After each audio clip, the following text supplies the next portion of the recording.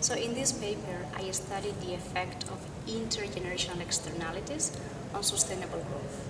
So the idea is that when we decide how much we're going to invest and use clean technologies, if we ignore the benefits of clean technologies for future generations, we might underinvest and underuse clean technologies and therefore reduce the chances to achieve sustainable growth.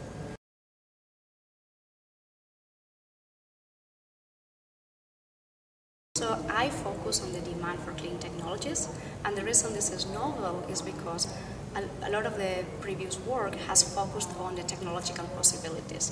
They have looked at what are the incentives to provide clean technologies and their effect for sustainable growth by looking at the transition from dirty to clean technologies. So what I do that is different to that is to instead of focusing on the supply for clean technologies, I focus on the demand for clean technologies. And the point I want to make is that technological possibilities do not guarantee implementation. So if we don't have incentives or if we ignore the benefits for future generations, we might under demand clean technologies, and this has consequences for uh, sustainable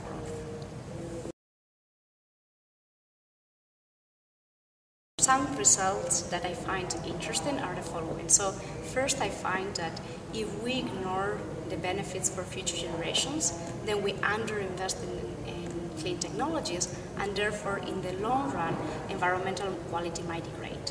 This is probably not surprising result because we know the effect of externalities on the long run. However, what I do find that is I find more interesting is that previous work we always thought that the reason we have environmental problems is because we don't care enough about the environment.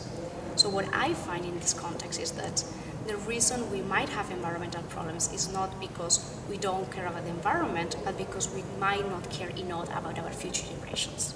So the problem is not that we don't care about the quality of the environment, but that we ignore that the environment has an effect for future generations.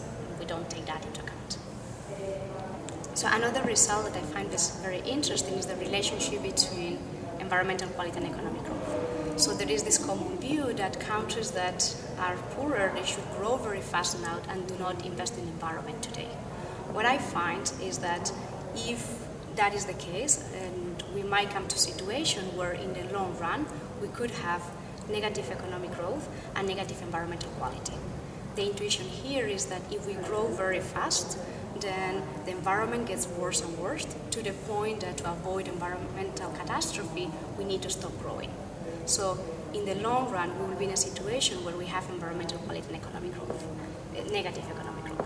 And this implies that investing in clean technologies today is not only important for the environment, but it is also important for economic growth.